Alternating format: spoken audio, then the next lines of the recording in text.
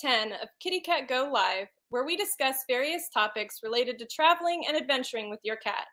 I'm your host, Emily Hall, and tonight we'll be chatting about how to properly introduce your cat to new situations and environments, recognizing when your cat is nervous or stressed, and so much more.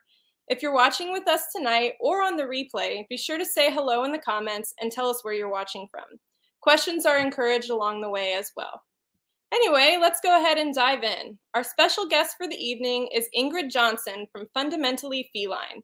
Ingrid is a certified cat behavior consultant through the International Association of Animal Behavior Consultants. She also works as a veterinary technician and cat groomer at Paws, Whiskers, and Claws, a feline only veterinary hospital in Marietta, Georgia. Ingrid has been working exclusively with cats since 1999 and has had the opportunity to attend many continuing education courses all over the country. Her most passionate topic is environmental enrichment for indoor cats, which just so happens to make her the perfect guest for our show. So I'm going to go ahead and bring Ingrid on. Hi, Ingrid. Hi. Thank you for having me. Yeah, thanks so much for being here tonight and being willing to share all your expertise with us. I will try to do my best. so, before we get into all the questions, um, can you tell us a little bit about what you do and your cats and all of that stuff? Absolutely. Well, I'm a hospital manager at a feline only clinic, but my main gig is fundamentally feline. And I created and, and started doing behavior consultations because just so many clients at the clinic needed more help than I could dedicate time to in the exam room. So I started doing home visits and home consultations.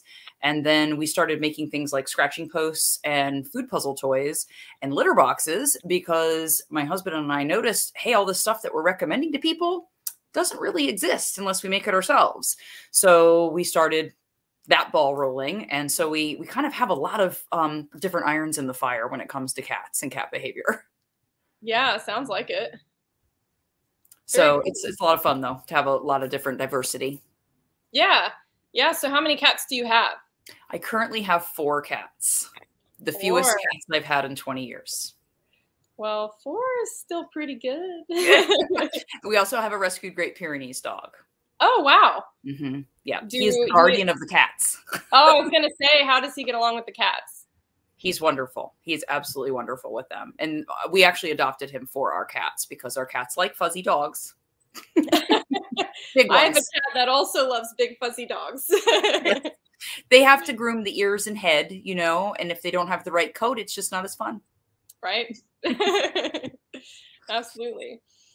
Well, um, this month through Kitty Cat Go, I'm hosting the Kitty Cat Go Adventure Challenge, which encourages people to go new places and try new things with their cat. And you know, that can be a struggle when you're trying to yeah. take your cat somewhere new, somewhere they've never been, or introduce them to a person they've never met. So, can you give some tips and advice on how to properly introduce your cat to a new situation, whether it's just your backyard, the pet store, a restaurant patio, a park, you know, whatever? Sure, yeah. But first, I just wanted to say that I think it's great that you're promoting this because I'm a big fan of outdoor exploration in a safe way. You know, we shouldn't just let them roam the neighborhoods. But I love cat strollers. I love catios. I love leash and harness walks. I love all the things that get them out and experiencing the seasons and the fresh air, but is making sure that they're safe. So I think it's great that you've got this going on. Um, and obviously, we also have to recognize that every cat is not a candidate for this. And I think that that's pretty much a given.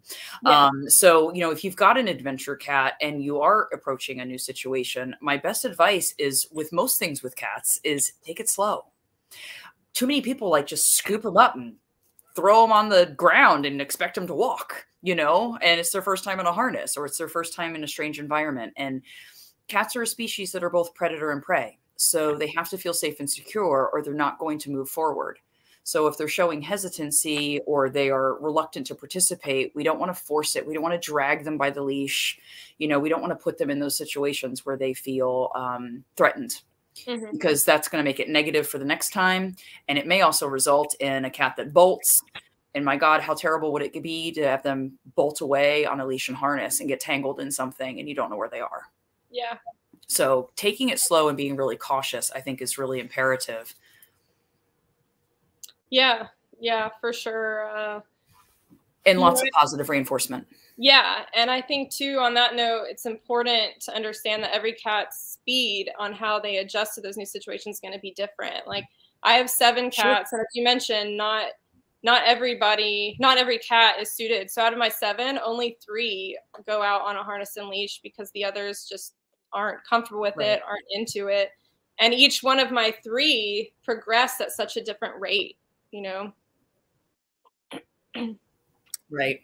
Right. And I've I mean, I even have some that I can take out in the yard. Just like a little supervised excursion while we're taking out the recycling or something. And I trust them even out there naked, as we say you know yeah.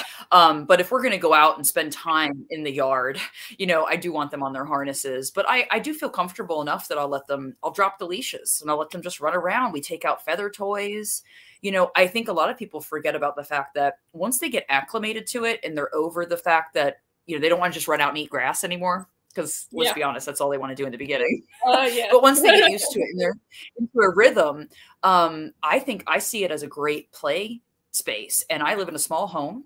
So it's a way for them to really get a good run and tear, and they've got good traction and purchase on the grass and soil versus our hardwood floors where they're skidding and sliding around.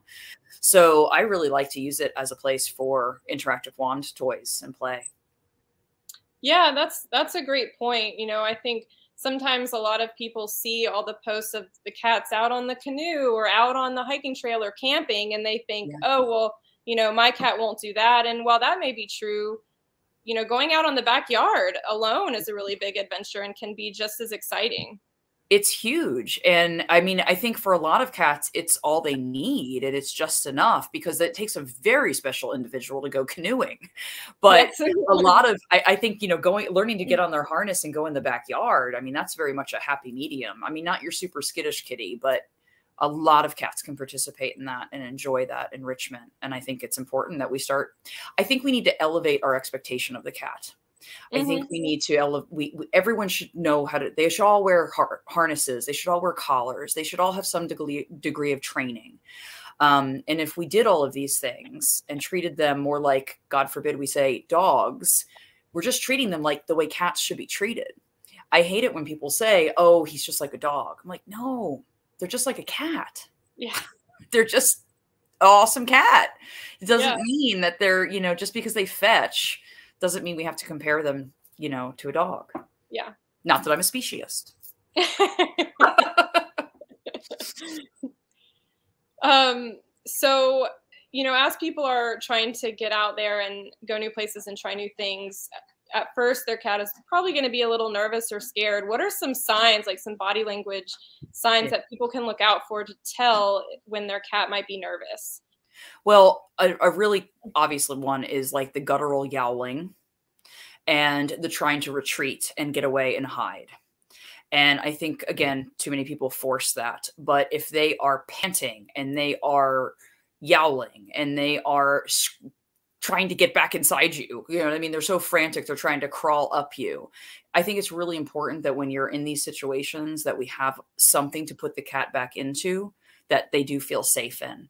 Um, I'm not a huge fan of the kitty backpacks because they're so confining, but in that situation, that would be probably the perfect thing to use um, or having like a cat stroller or a carrier, they've got to be able to respect their cat's limitations and be able to get them back into a safe space so that they feel safe. Um, but obviously, I mean, the, the, the usual signs that we see in a cat that is stressed, you know, pupils dilated, their ears are back, they're flicking, they're irritated, they're agitated. Um, but usually when they're scared, they really want to hide and get away and mm. and self-preserve.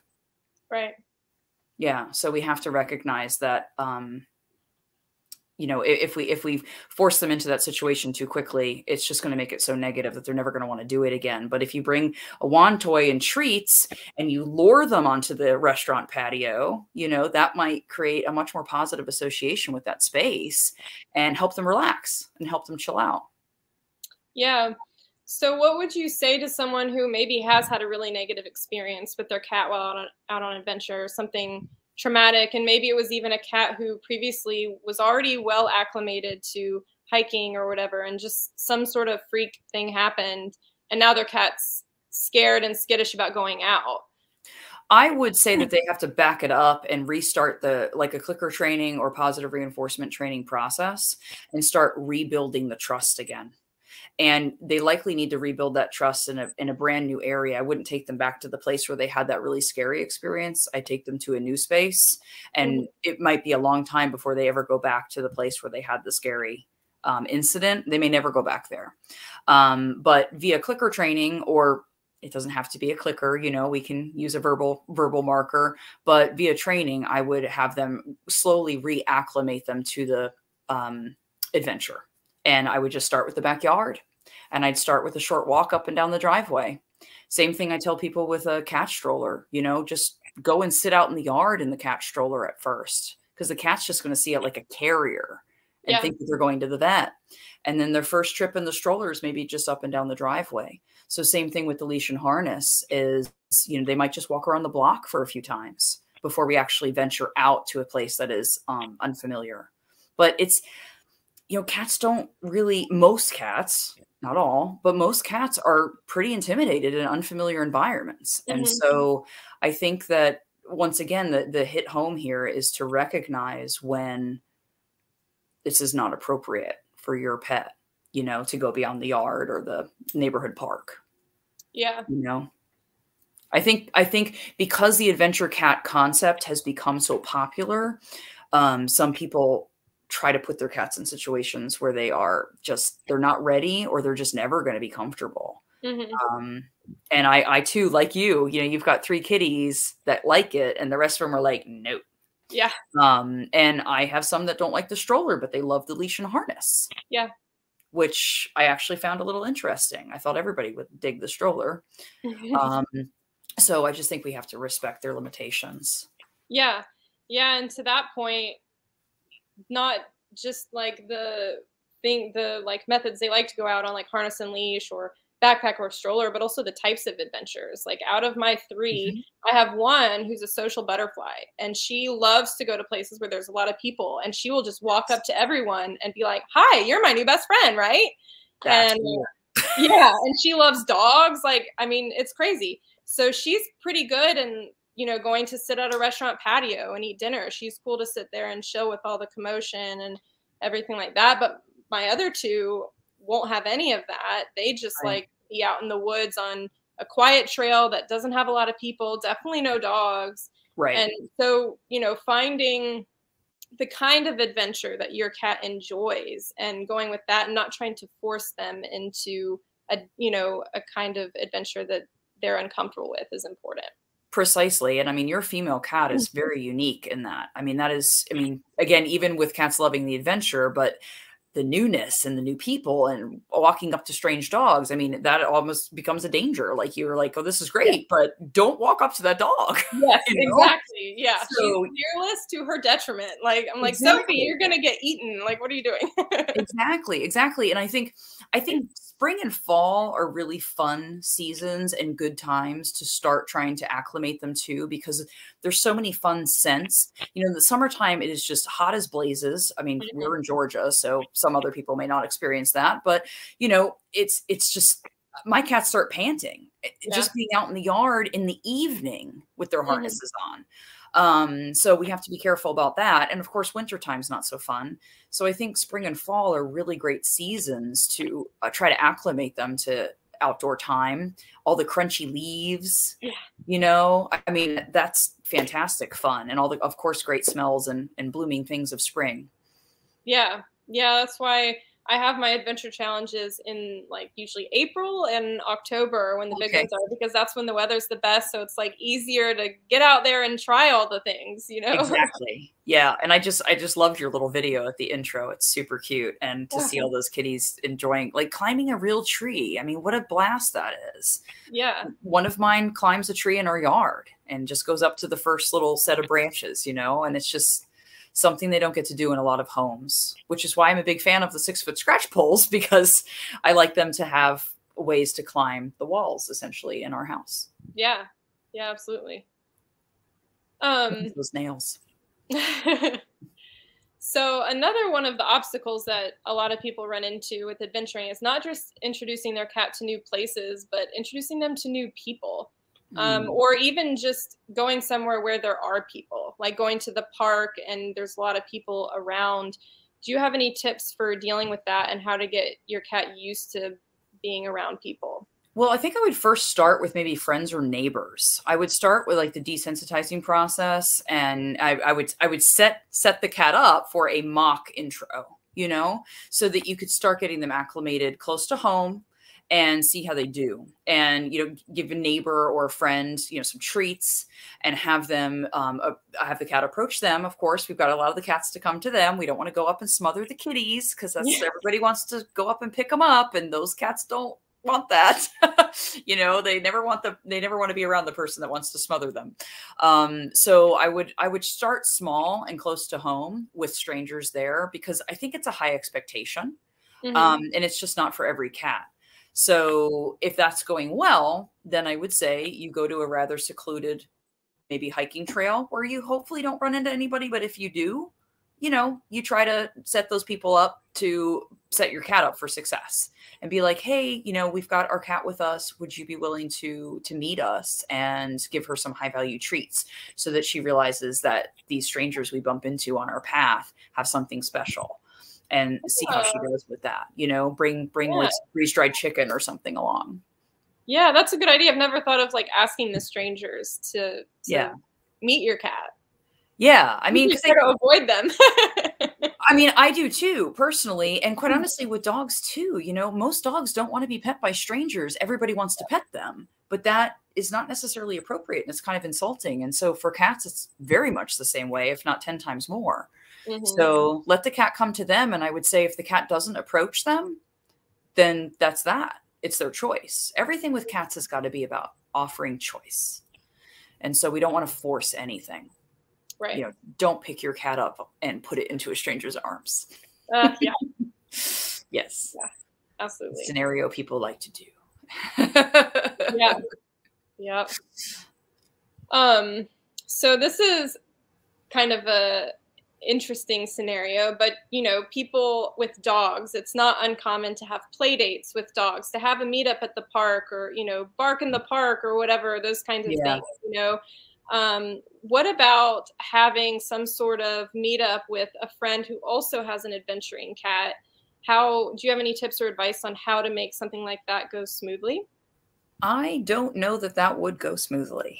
Um, cats, cats need to be gradually introduced to other cats over periods of days, weeks, or months, and so they generally do not welcome strangers. So again, there's exceptions to every rule. So I can say that all day long, but other, you know, some of your followers might have a cat that's totally fine with it, like your kitty, but generally it's something that has to be done gradually over time and is not going to be acclimated in you know just one adventure visit um, unless you have that really special individual. And to find two of those special individuals that can come together and be hospitable um, that's pretty remarkable. Right. um, so generally that is not something that i would encourage or recommend not to mention communicable kitty cat diseases.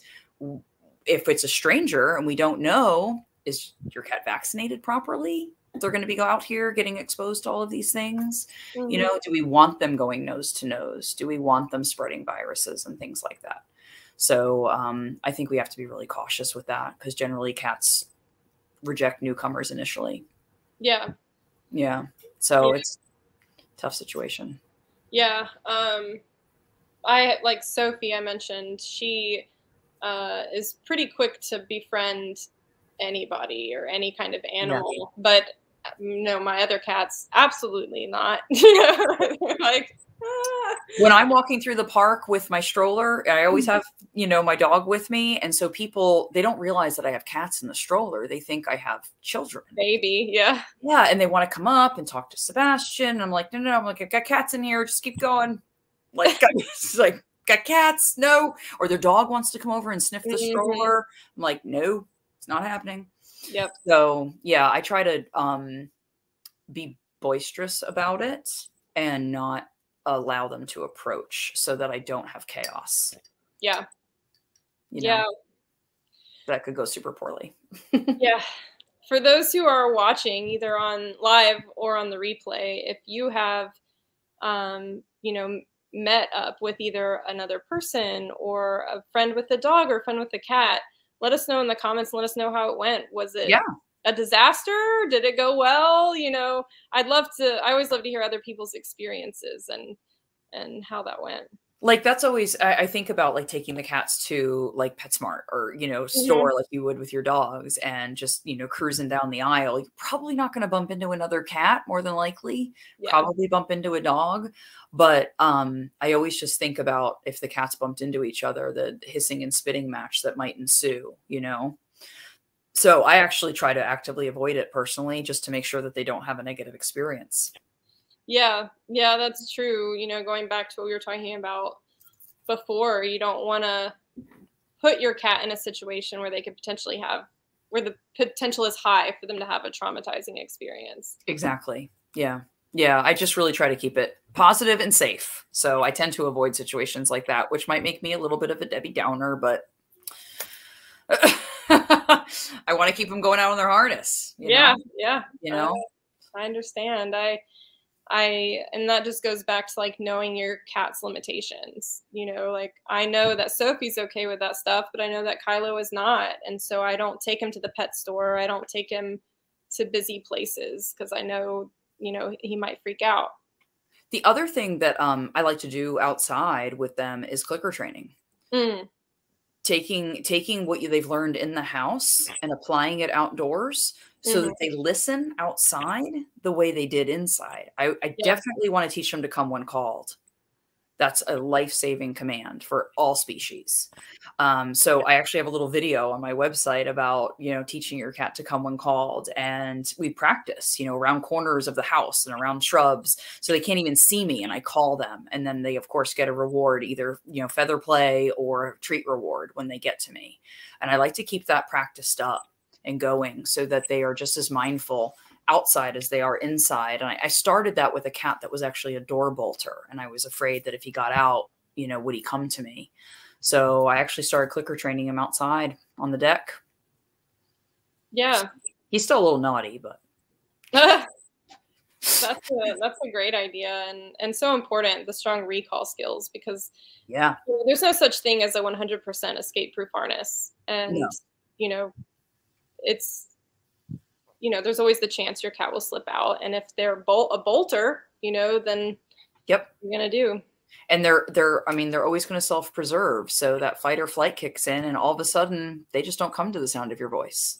It's yeah. upsetting for us but it's something we have to accept. It's cats. Mm-hmm. how they've survived for so many millions of years so successfully. Virtually unchanged since the beginning of time. Yeah. they are perfect. They came yeah. perfect Absolutely. I mean, seriously, there's just look at all the things we had to do to manipulate dogs. Yeah. Cats, we got some coat color changes, but whatever. they did exactly what we needed them to do right out the gate without any training or manipulation. Yeah. Um, we've got some comments coming in. People saying one person, Suzanne, says that they meet regularly at a park or brunch or even kayaking with friends. Um, Stephanie says that she finds that meetups go well until the other cat or dog gets scared, and then her cat will respond the same way. Mm, okay. Um, Momo and Appa say that Appa doesn't like other cats but loves people and dogs. We've met other cat explorers and they're cool hanging out near each other, but usually just ignore each other. Yeah. Pretty so good. keeping, keeping, a distance, I think that's pretty safe. You know what I mean? Like yeah. the humans can hang out, everyone can have a little little water break and granola snack, and then the cats are just at a distance on their leashes. Yeah, yeah. Um, Stephanie asks, is it normal to take very long to respond to clicker training outside? Her kitty has it down inside, but not out. Hmm. I wonder if we're just too distracted. I would increase the value of the food reward. So whenever we're training, we have to find what I call a scale of rewards. And so lower value food reserved for learned behaviors or lower value things like just teaching sit or something that's not super important, but you know, learning to go into your carrier on command or learning to come when called or just learning something really challenging like jumping through your arms in a hoop, which is hard for a lot of cats to learn. Um, that kind of stuff, I increase the value. Got to pay them more. Mm-hmm. So I would say that we need to find um, a higher currency for outdoor training. Yeah. Hey, yeah. Work work harder for the better treats. Exactly. Exactly. yeah. And maybe work in the um, part of the yard with the least um, distraction. So if we are a grass eater and all we want to do is eat grass, let's work on the deck mm-hmm. so that we take the trigger away that distracts them. Yeah, and I think you know that sort of goes back to what we were talking about introducing your cat to new situations. You know, you do it slowly and probably works the same for clicker training you know just go right outside your door you know yep. like right on your front porch or front step and then gradually increase your distance you probably going from inside to like the hiking trail is going to be you know too much of a jump and don't forget about props too like teaching them to go to um, targeting a mat or a click stick or a stool um, or a balance beam bringing mm-hmm. something outside that's normally inside to try to keep them keep their focus you know and in short short sessions as well. You know we're talking three to five minutes here. You know we don't have to be clicker training. This is not a labrador. We're not going to be out there for 45 minutes yeah. teaching them the heel. Yeah. yeah. Yeah absolutely. Well you guys that are watching feel free to drop your comments or your questions in the comments anytime. Um, you know we'll be happy to take a look at those and help you as best we can. Um, i have curious. Oh, I'm sorry. No, go ahead. I was going to say I'd be curious um, around Georgia if we have any local um, people tuning in where everybody goes with their kitties for their adventure hikes. That's a good question. And I did see back at the beginning of the show when people were chiming in with where they're from, we did have a, a person, April Lemons from Tucker, Georgia. So a fellow Georgian. Uh, Hi, April. Yeah. Um, so places that I take mine, we usually go. We have um, a couple hiking trails nearby that are pretty secluded. Um, okay.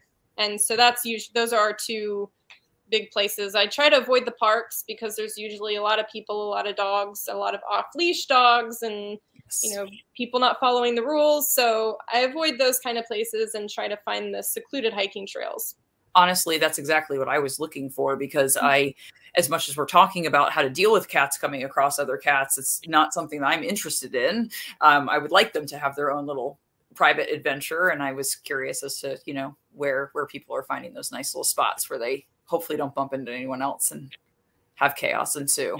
Yeah, I find our spots on that AllTrails app. Um, I don't know if you've yep. that mm-hmm. before, but yeah, usually that will tell you, you know, how if it's a highly trafficked trail or not, if dogs are allowed or not, and if they have to be leashed or not. So that's usually how I kind of gauge if it's going to be a good spot. Of course, it's not always right, but it gives you a starting place. right. Yeah. Cool.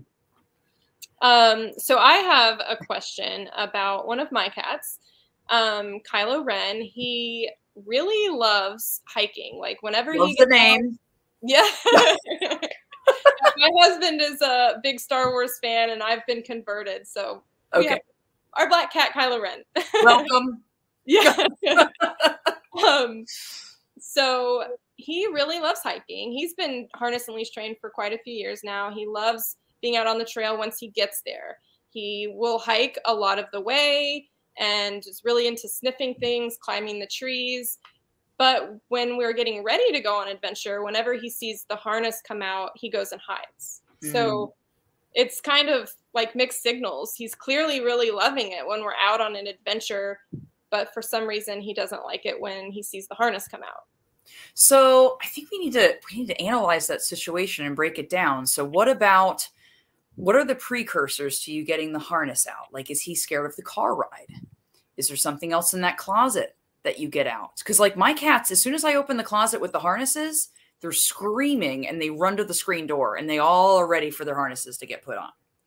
So we have to look at like the antecedent. What is the precursor to that behavior that you think might be triggering him? And then we have to counter condition that. Yeah. Can you think of anything that might um anything else come out of that closet like a vacuum? No, no, I keep the harnesses in a room in my office, and the cats don't go in there. Okay. Um, usually, you know, before I pull them out, it's my husband and I getting dressed and ready, putting on our hiking boots, and you know, getting the backpack out, and then getting the harness out. And I don't know. How was he during that part? Um, sometimes he'll hide before the harness even comes out. Like if he's Wow. just putting our boots on and he's like, "Oh, we're about to go somewhere," I'm gonna hide. Um, and then I can sometimes lure him out with treats and then get him in his carrier, and then we go, and then he has a great time. So it's just so strange. So why don't you change up the orientation of how you do things? Change where you keep the harnesses. Maybe you get the harness on before you get the boots and the backpack and the car keys out. Is he scared to go to the vet? um, no, not usually. He doesn't cry in the car? No, no, he's a pretty good car rider. He just Okay. Okay. Um, so just alter the ori- orientation of how you go about because like he's gotten used to the pattern Mhm. and the pattern obviously gets him a little amped up. So there's something about that that I, I don't know what it is um, that's making him fearful. Yeah. And so if we alter that and we change it, then perhaps we don't cue him in as to what is about to occur. So he's not um, scared. Mhm. Then also, how did you first condition him to wearing the harness? Was that a pretty positive experience or does he get freaked out when you first put it on? No, he's pretty good with the harness, and I to try to work uh, on this issue. I've been doing a lot of getting the harness out when we're not even going to go anywhere. You know, Yes. getting it out, putting it on him, giving him treats, clicker, you know, clicker training with the harness, and that's been helping. Um, but we just haven't fully conquered the issue. So. And and you might want to take that you know one step further through once you get him used to you getting the harness out and clicker training that and he doesn't care and doesn't run anymore then the next step is move on to the next the next cue is it the shoes? Is it the boots? Is it the backpack? And you have to do Mm. that counter conditioning with each and every item that seems to trigger him to bolt so the harness is phase one, and maybe you do store it somewhere else and counter condition it and make it super positive. But then we also have to do the same thing with all of the other things that seem to make him go, got to go under the bed. yeah, You know, um, so it's it's it's strange that he he does he he really does enjoy it. It's not like Yeah. he's like happy Okay. tail up, very engaged, and okay. Treats. He'll eat, drink, do all those things that shows that he's comfortable and he's really affectionate and uh, you know definitely happy when we're out on the trail. I can tell when he's not, you know, because sometimes we have a backpack carrier and if he's not into it, he won't come out of his backpack, you know, and Okay. then I know uh, he's not into it today. But other times he's like, "Let me out! I want to get down there and explore," you Is know. he the one I saw in the Star Wars vest? yes. This is um this is Vader behind me. You can't totally see him because of the glare, but yeah. um, we've also embraced the the Star Wars theme. And um, ironically, at age nine, he developed a tumor and had the exactly correct front limb removed. oh, Who knew that was going to happen? So it's almost like we cursed him. following after his namesake, right? yeah, yeah. We have another cat. His name is Soren, and we call him Ren. So, Oh, and that, cool. Yeah, because of Kylo Ren. So. yeah.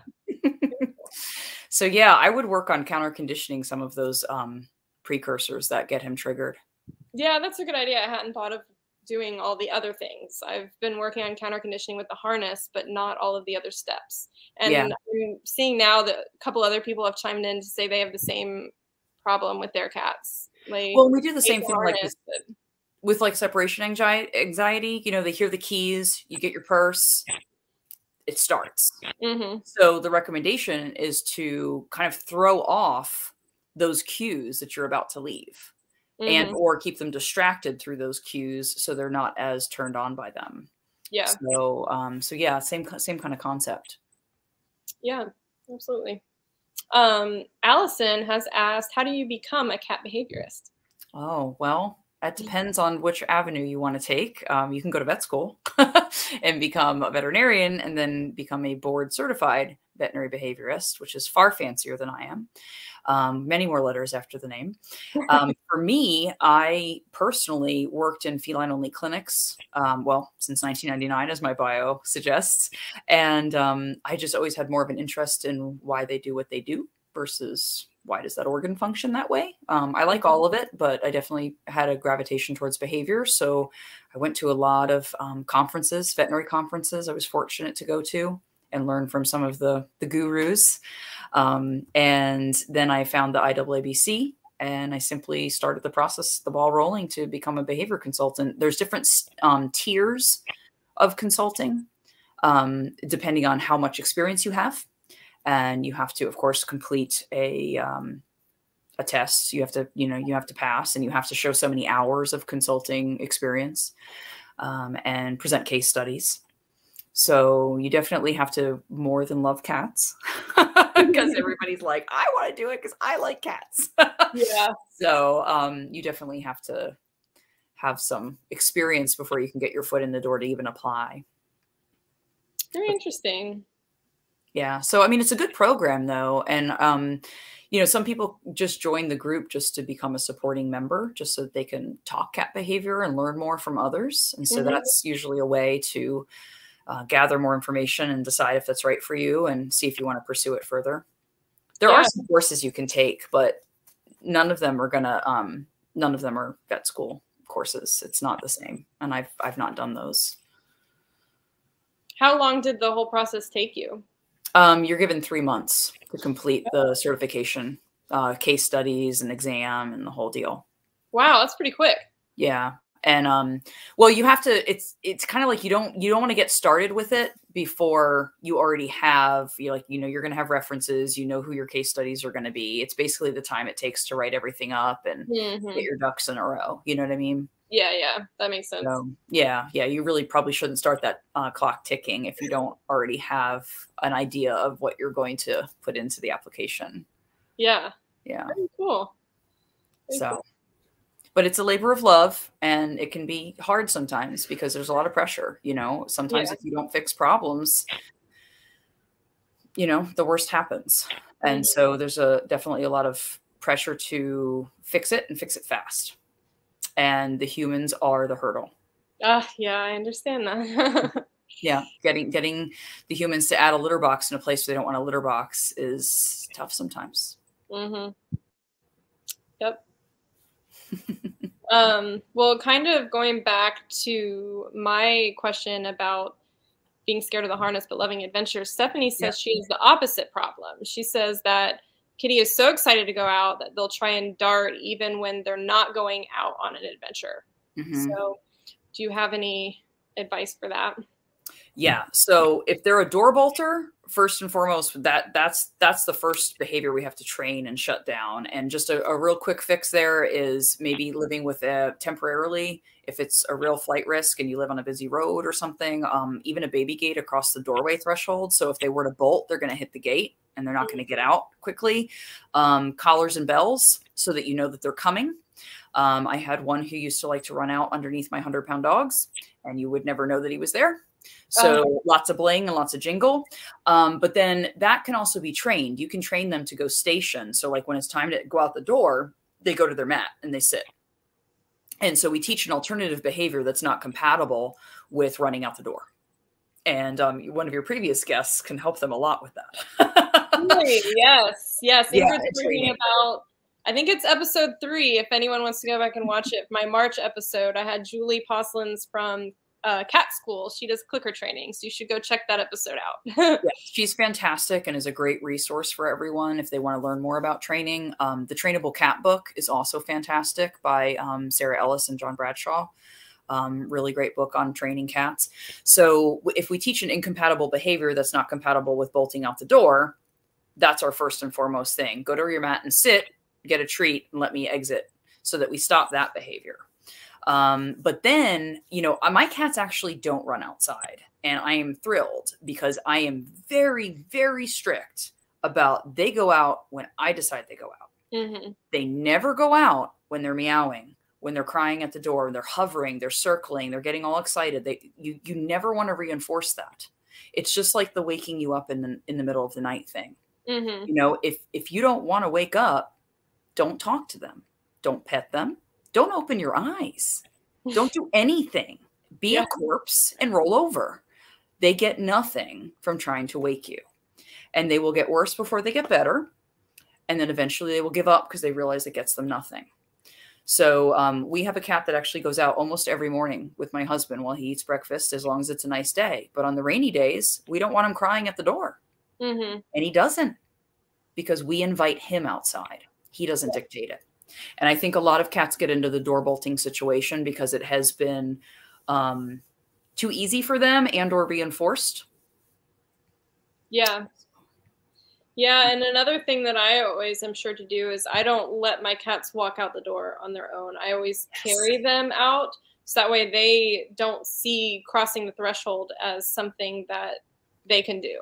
Yes, and that is that is actually a recommendation that I've made for mm. probably many many years. Recently, I've kind of let that I, I, kind of forget about that recommendation, but I used to tell people if you're going to take your cat on a leash and harness, first they go in their carrier. You take them outside through a door that they're not accustomed to leaving. So, say you go out through like the kitchen door into the garage and then outside. So it's mm. double door and they never get to like bolting out into the garage is boring. It's no fun. And so you don't go out like the door that you use every day. Yeah. You go out a, another door in the carrier and then you let them out of the carrier and you let them into the grass that way. Yeah. So that hmm. they never learn that crossing the threshold is safe. Yeah. Good idea. I hadn't thought about the alternate route. Mm-hmm. Yeah. Well, it's good to brainstorm. Hopefully yeah. people are learning different things. yeah. Um, so Karen says that her cat Yuli um, loves his harness, climbs in her lap when it comes out, loves car rides and being on the trail, but he's skittish of his backpack ever mm-hmm. since some rude hikers threw rocks at him when he was in it. Do you have any um, any way to help him believe his wow. backpack is a safe space again? Wow, people are horrible. That's awful. Yeah, Who would do that? And I mean, basically, they're throwing rocks at the human too. At they the human, yeah. Um, honestly, usually in situations like that, like what we tell people with vet visits, you're going to try to train your cat to a carrier, you get a brand new carrier that's mm-hmm. never been associated with anything negative. And so there's not a ton of cat backpacks out there, but I would try to find one that looks different, smells different, and is totally different in every way and retrain him to accept the backpack. Mm. That's usually one of your best ways to go about doing that is just getting a fresh, clean slate, just like you would with a cat carrier. Yeah. Yeah. Yeah. That's I mean, a, that's a good thought. You know, I always think about, you know, you just start the training process over again. But if sometimes like if that one is ruined in their mind, like you were mm-hmm. saying, how if they have a traumatic experience at a location, they may never be comfortable going to that location again. And that could exactly. be true for the backpacks as well. Exactly, exactly. So, yeah, like with cat carriers, we always tell them get something brand new that's never been to the vet. It does not have any scent on it and break it down. If you can, you know, leave the backpack as open as possible. And you want to reward exiting as well as entering. So it's just as fun to do both behaviors. Mm-hmm. So it's not just, you know, getting in there that gets them the reward. Yeah. Good stuff. Good stuff.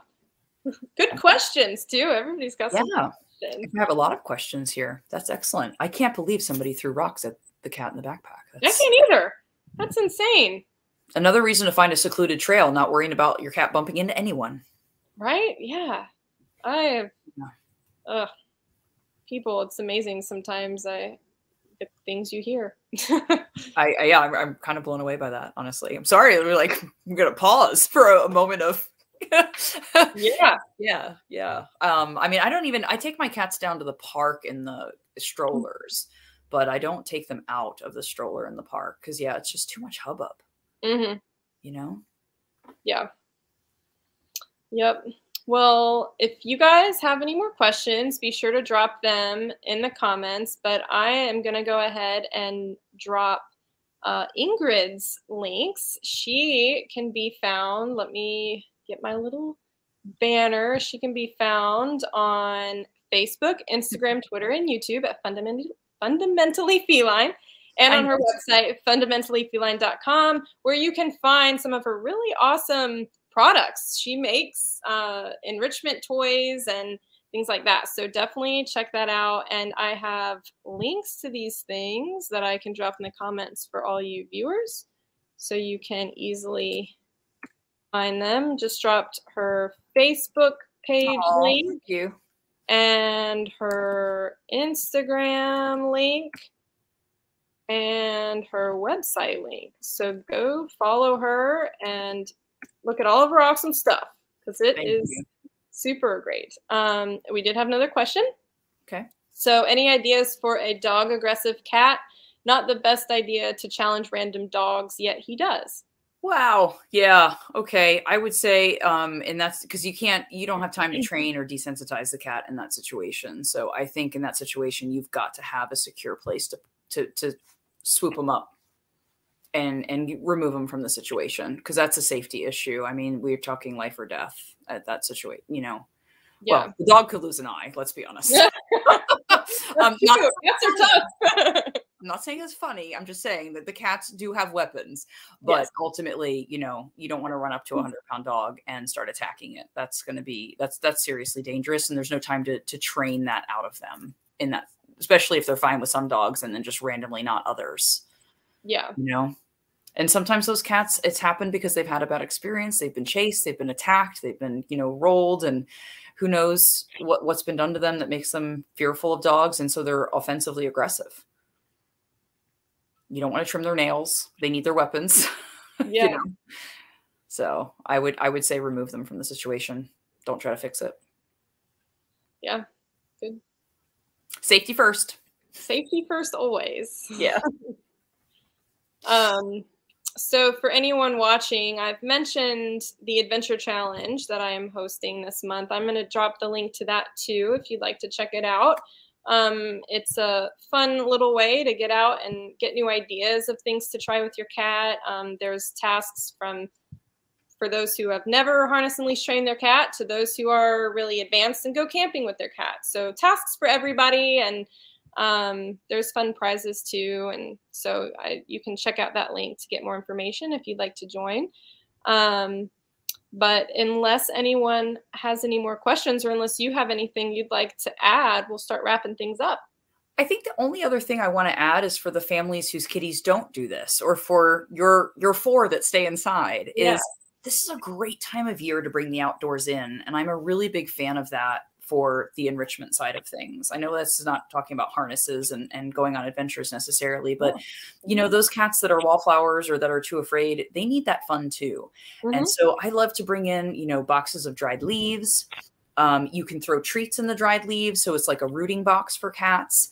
Um, you can put toys in there. You can put um, hex bugs. If everybody knows the little teeny tiny battery operated bugs you can get on Amazon. Oh, yeah. Those are great. You put that in a box with some dried leaves. It's like there's real prey in there.